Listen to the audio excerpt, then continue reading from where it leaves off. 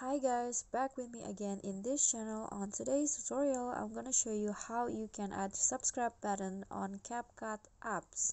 So if you want to add the subscribe button because you want to upload the video to YouTube, you can do that. So I'm gonna show you uh, two ways to add the subscribe button. So the easiest way you can just use stickers. So here in CapCut, just click on stickers and then swipe until you find the sticker category with bells on it. This one's right here. And then you'll find the subscribe button here. There are two options. You can just choose which one that you want to use. For example you want to use this one.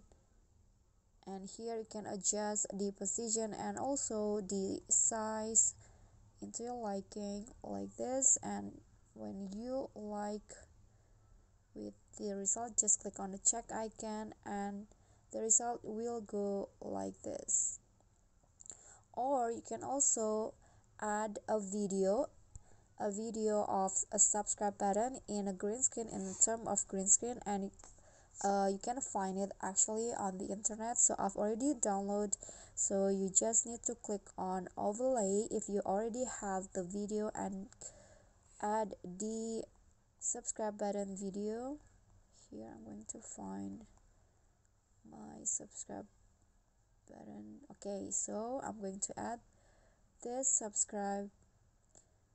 Okay so now you see it's on the green screen video. So what you need to do is get rid of the green screen. So you need to click on cut out on the overlay and click on chroma key and choose the green screen to be removed and adjust the intensity and here is the subscribe button.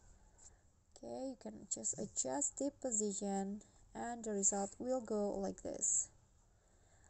Okay guys so that's all for me if you got any questions feel free to drop them in a comment. And if you think the video is helpful don't forget to click thanks like and subscribe for more content.